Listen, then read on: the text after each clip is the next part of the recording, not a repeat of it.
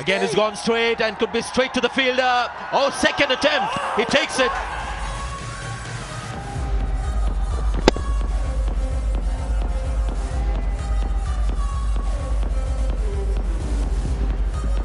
Brilliant.